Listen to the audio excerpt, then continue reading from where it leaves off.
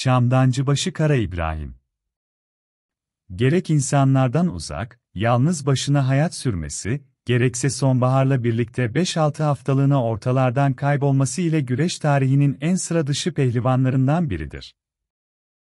1838 yılında Bulgaristan'ın Plevne iline bağlı Lofça kasabasının Netniçe köyünde doğdu. Akrabası Kavasoğlu İbrahim Pehlivan'ın çağırmasıyla saraya girdi ve kısa sürede saray başpehlivanları arasında yerini aldı. Güreşirken bir adım dahi gerilemeyen Kavasoğlu ile Kara İbo pehlivanlar, Koca Yusuf'un hayran olduğu güreşçilerdi.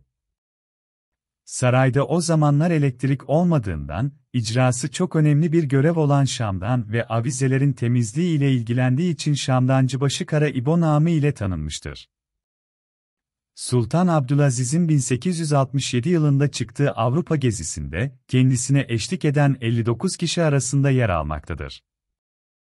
Avrupa'da yaptığı güreşlerde önüne çıkarılan bütün rakiplerini yenmiştir. Aynı şekilde Türkiye'de yaptığı güreşlerde Kel Aliço ile yaptığı müsabaka dışında yenilgisi bulunmamaktadır.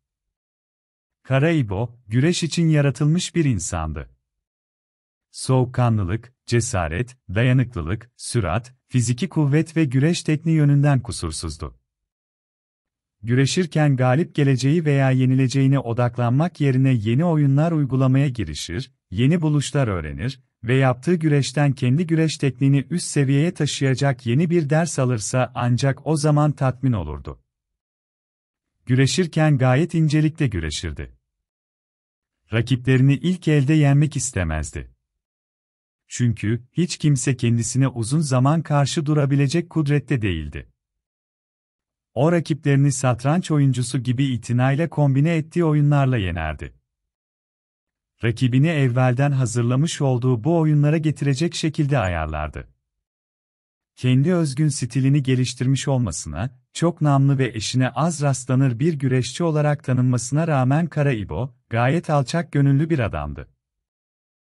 Fransız güreşçi Paul Pons, kitabında Karaibo, Akdizi ve Cemil pehlivanların Fransa'da adları duyulan ilk üç Türk pehlivanı olduğu bilgisini verdikten sonra, Karaibo'dan övgüyle bahsetmiş ve onun gerçek bir sportman olduğunu söylemiştir. Karaibo zamanında Akdizi isminde bir pehlivan daha vardı. Karaibo'ya kuvvet ve tarz bakımından en yakın olan pehlivanın bu Akdizi olduğu söylenmektedir. Ekranda görünen resmin en sağında duran Aklize hakkında, maişetini temin için, bir Avusturya gemisinde çalıştığı dışında fazlaca bir bilgi bulunmamaktadır. Tüm bunlarla birlikte Kara İbo toplumun dışında yaşıyordu. Kendisine iyi baktığı bilinen Kara İbo, içerisinde sadece en gerekli eşyaların bulunduğu ve çok temiz tutulan bir odada, kapısını çalan kimse olmaksızın yalnız başına yaşadı. Güreş yerlerine ancak mecbursa gider ve güreşçilerle birlikte bulunurdu. Güreş dışında hiçbir iş yapmadığı halde, güreşten kazandığı ödülleri gidip almazdı. Meslektaşları arasında tutumlu olmasıyla tanınan Karaibo, diğer taraftan fukara mahallelerinden geçerken, görünüşü itibariyle çok fakir olduğu anlaşılan kimselere sadaka veriyordu. Tuhaf bir karakteri vardı. Güreşi olduğu kadar, gezmeyi de çok sevdiğinden dolayı bir yerde uzun süre oturamazdı. Her sene sonbaharın başında İstanbul'u terk ediyordu. 5-6 hafta ortalıkta görünmüyordu. Bir müddet sonra tekrar ortaya çıkıyor ve eskisi gibi yaşamaya devam ediyordu. Ortalıktan kaybolduğu zamanlarda nerede olup ne yaptığı ile ilgili kendisine sorulan sorulara karşın ketumluğunu muhafaza eder, cevap vermezdi. Bu zaman zarfında nereye gittiği hiçbir zaman öğrenilemedi.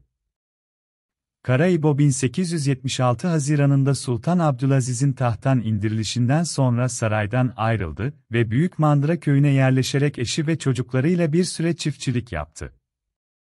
Torunları halen bu beldede yaşamaktadır.